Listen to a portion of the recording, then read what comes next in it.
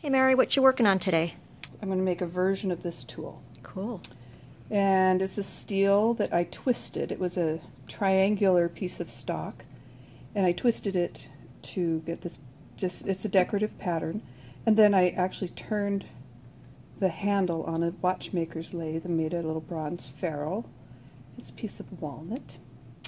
I've used it over the years. It's been a nice little scribe. So I'm going to try to do this technique with this piece of square stock. Um, it works completely different than non-ferrous metal. This is steel, so it's a ferrous metal, and it hopefully is tool steel. We'll find out. What you can do with steel that you can't do with gold or silver in the same way is it becomes plastic when it's hot. When gold is red hot, it becomes brittle. You can't move it. Mm -hmm. It'll break. But iron and steel becomes elastic when it's hot. So I'm going to heat up to red hot a little spot here and see if we can twist it. So I'm only going to heat up, I got it in a, one end in a vise. I'm going to heat one spot. I've got the other end in a vise grip. Let's see, oh yeah, we're going to get red hot real soon here. Okay, good. Going to get it red hot. Test it for movement. Oh wow, look at that. Okay. Now while it's red hot, I'm going to twist it, okay? And I can control my heat. I'm going to take, take my torch off. I don't want to break it or anything, but see how elastic? Isn't that amazing? Yeah. I watch my fingers.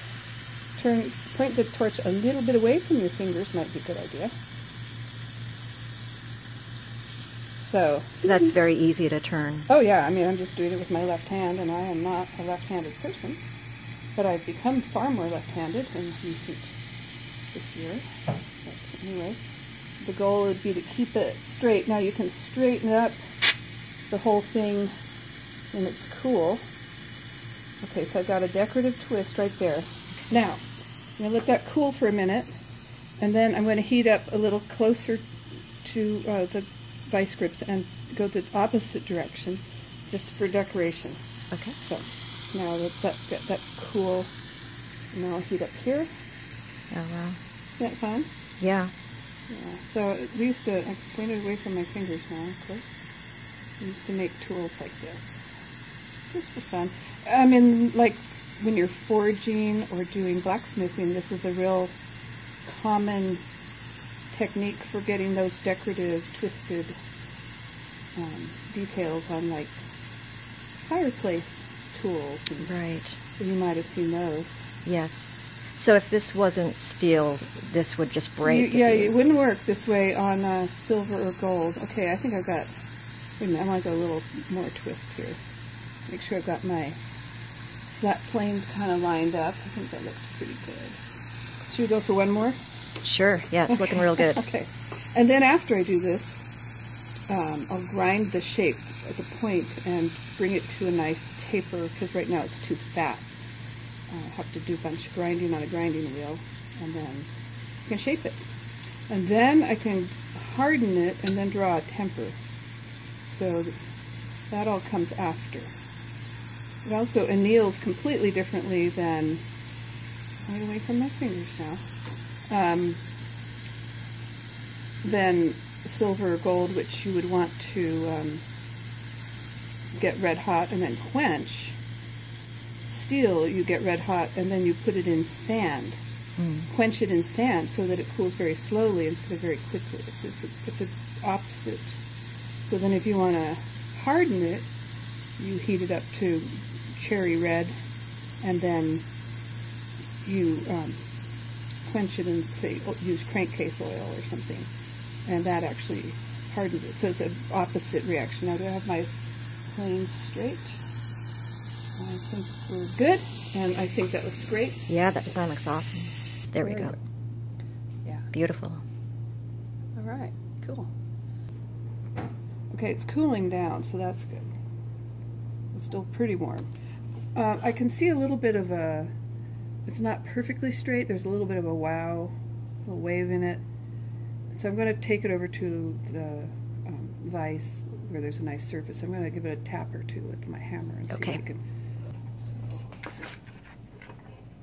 Okay, it's that way.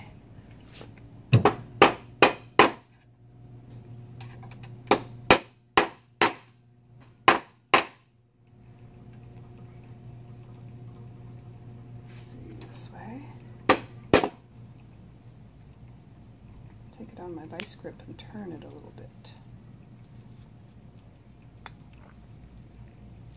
Think I've got one more spot right there. That's pretty good. Oh yeah. I can tell this is tool steel, and the way I can tell this is tool steel is because of the kind of spark that is coming off of this steel. If it was mild steel, the spark would be long and simple. This is a short, complex, bursty spark, and I'll show you without the shop vac on. This is something I learned a long time ago, and this is a pretty reliable test if it's a tool. So look at this spark here. See how uh, complex that spark is? That makes me believe that this is a tool steel. So, so I'm going to, you know, shape this.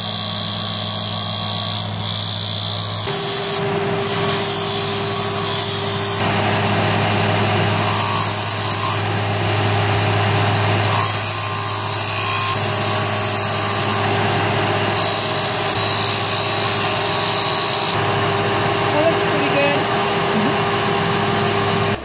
I've got the lower portion shaping up. Um, I might put a thinner, a thinner taper there, maybe. Um, then on the back side, you need to have the part that goes into the handle. That's called the tang. So at some point I'll decide where I'm going to grind in, shorten this, and then grind it to a much smaller um, point that'll then get pounded in and epoxied into the handle.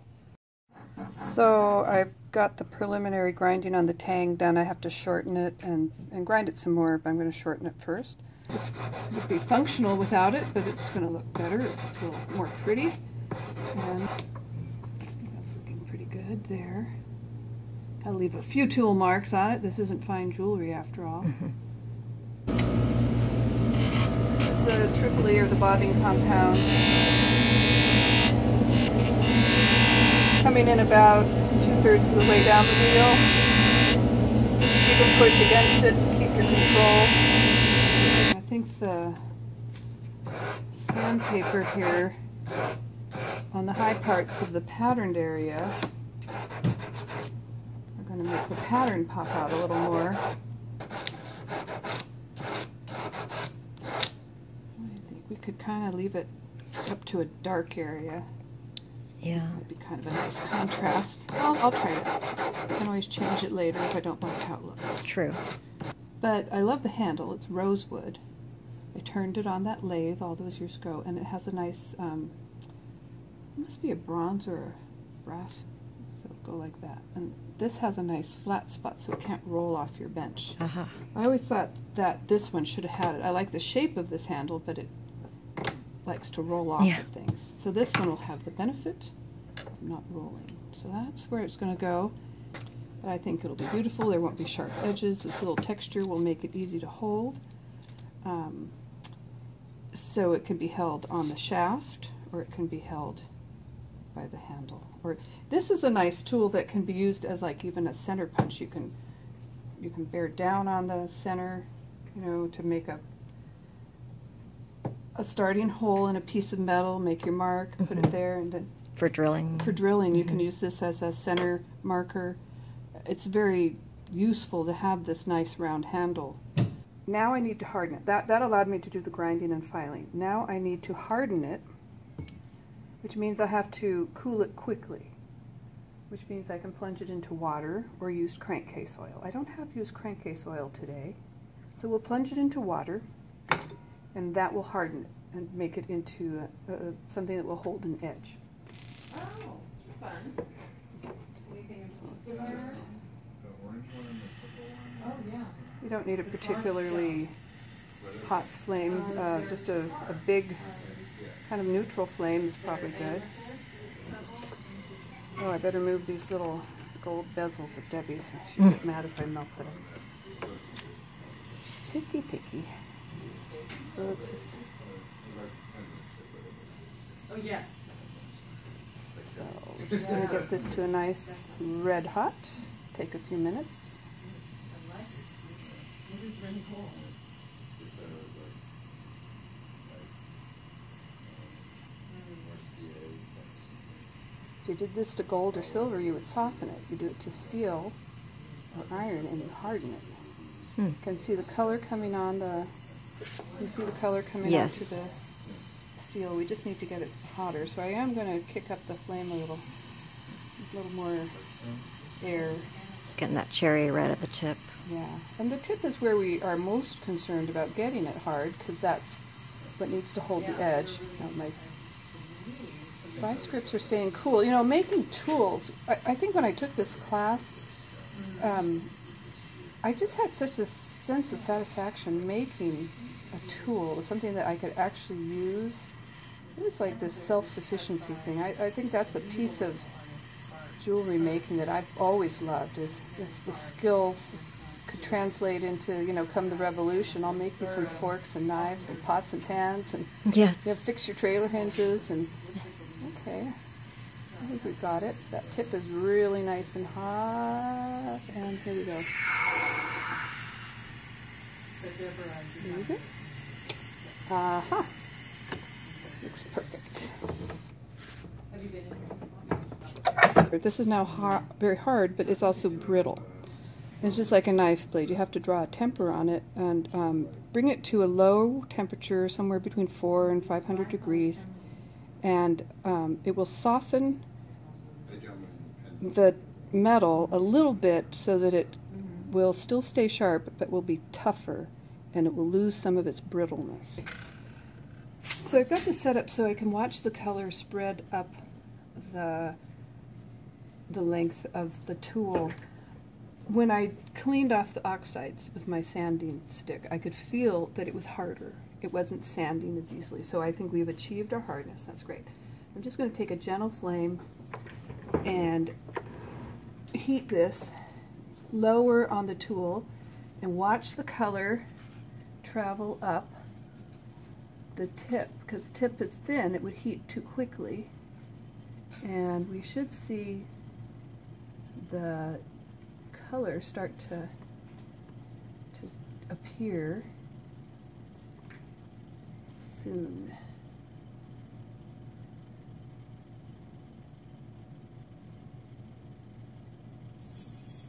Oh yeah, okay, I see some coming in and, okay, look at that. Mm-hmm. Now, we've got a blue, we've got it going to a, a purple, that's hotter, blue is hotter, purple is cooler. I've got the pale straw yellow just coming into the tip, Mm-hmm. and I think we'll quench it now. And there you go. A temper has now been drawn on this tool. Very primitive methods of determining temperature. No, um, no thermometer needed. These are the old school ways that you know blacksmiths have done this forever. So I'm very excited. Okay. I'm going to do a little two-part epoxy, and it's five-minute epoxy, and then I'm going to um, mix it and then cement this handle on. I've taken a little bit of the, I re-drilled this handle a little bit, and I'd kept the little sawdust out of it, and I'm going to stick it in the epoxy just to color it up a little. Sort of hide the hole, because it's not the perfect fit on the hole, because it had a different tool in it. So mix up your epoxy, and you can color epoxy with things like charcoal dust, or whatever you need. The epoxy isn't really the main holder, it should be friction and tight fit, but just it's a good security blanket put a little on, stick it in my hole.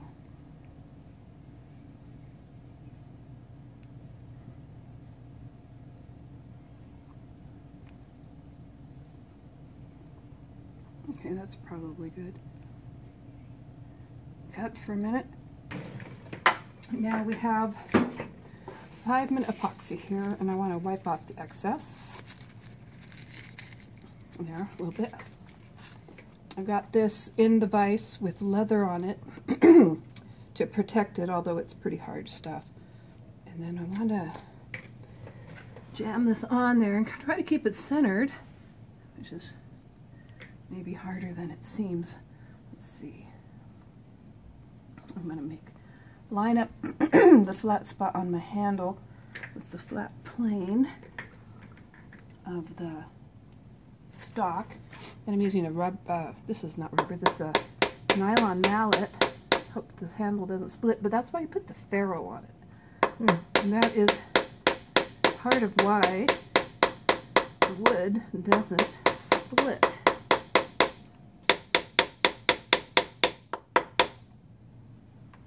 Well, I wouldn't claim to be a professional tool maker.